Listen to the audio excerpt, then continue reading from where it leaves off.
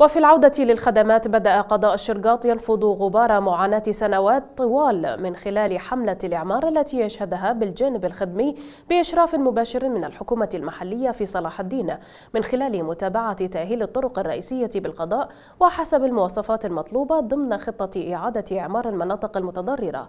وتشمل الخطة مشروع صب شارع أبو عوف قرب سدة الشرقاط القصبة ومشروع تعبيد شوارع في تل العشم قرب التجهيزات الزراعية. الزراعية وتعبيد طرق متفرقة في الخضرانية ضمن ناحية السهل الأخضر إضافة إلى تأهيل جسر العيثة. ويؤكد القائمون على الأعمال متابعات المحافظة المباشرة واتباع توجيهاته للانتهاء من التأهيل وافتتاح الطرق أمام المواطنين ومختلف العجلات بأسرع وقت.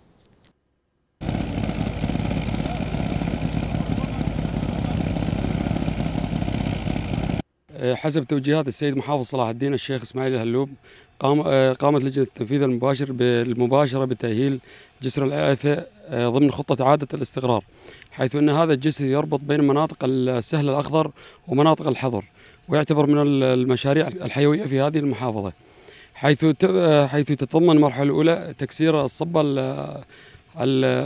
سقف الجسر والمرحلة الثانية بإعادة تأهيل الروافد للجسر. قامت مديرية الطرق وجسور صلاح الدين بإنشاء عدة طرق في ناحية السهل الأخضر لقضاء الشرقاط ضمن خطة إعادة الاستقرار عام 2022 حيث بلغت نسبة الإنجاز 97% ومجموع الطرق 10 كيلوات 800 وباقي فقط مرحلة الأكتاف لهذا الطريق.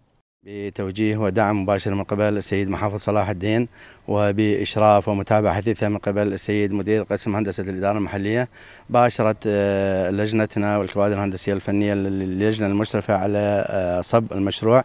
مشروع صب شارع شارع أبو عوف الممتد من سدة الشرقاط وشارع آخر قرب منتزه الشرقاط باشرنا بالمرحلة الأولى لقشط الصب القديم ومن ثم البدء بأعمال التسوية الترابية والحدل وبناء السواقي تمهيدا لصاب الشارع.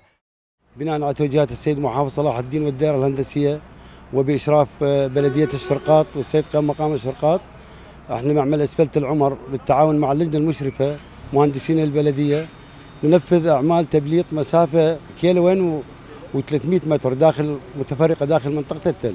طبعا التل هو طبقة الأساس ونشتغل بها حسب المواصفات الهندسية والفحوصات المختبرية. نفس المواصفات كلها طبعا فحوصات مختبرية وإشراف مهندسين البلدية. وإحنا قاعد نعمل خدمة منطقتنا يعني. المدة المقرره لهذا المشروع هي ثلاث اشهر إن شاء الله نخلص ضمن المدة، عندنا بعض الإشكالات تداخلات ويا المواطنين، عندهم تجاوزات في البناء. اللي نطلبه من المواطنين بقضاء الشرقاط يتعاونون ويا اللجان ويا السيد القائم مقام لإزالة هذه التجاوزات حتى نقدر نكمل الشغل مالتنا. قامت لجنة التنفيذ المباشر وبالتعاون مع شركة العمر بعملية تبليط منطقة تل العشم والآن المرحلة الأخيرة من أعمال التبليط حسب المواصفات المطلوبة الموجودة بالكشف. ومتابعين اللجنة متابعة. التبليط هو بالمتر المربع في 13368 متر مربع يعني تقريبا كيلوين و226